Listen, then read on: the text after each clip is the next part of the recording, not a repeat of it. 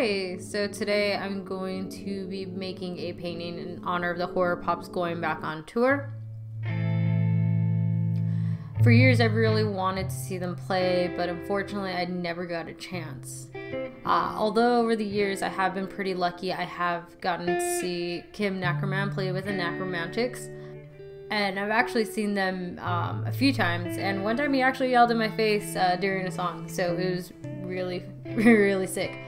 Um, but every show, I always make the joke of where's Patricia Day, and me and my buddies would talk about how great it would be to see the HorrorPops play. My best friend's actually seen them, so he tends to rub it in my face sometimes uh, that I haven't. So naturally, when the 2020 tour was announced, I rushed to get my tickets.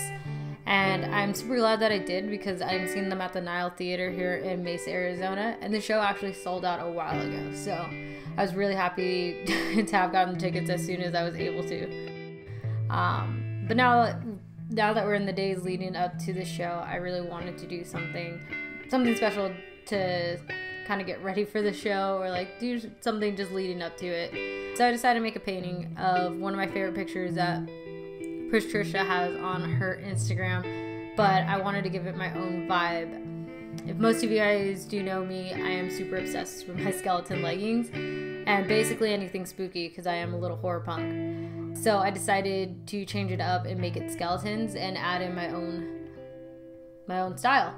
Honestly, I wasn't going to do that at first until I actually sat down to start painting.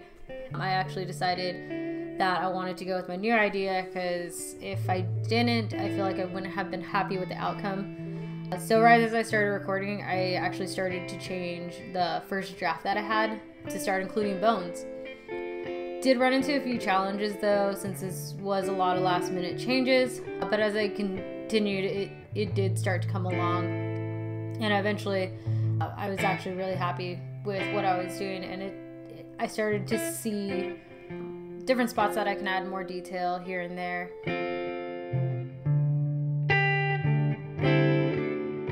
Now, I do want to state that I am a super fast painter. Um, I do have a lot of anxiety, and I tend to paint super fast. I tend to jump around as well, like on the page.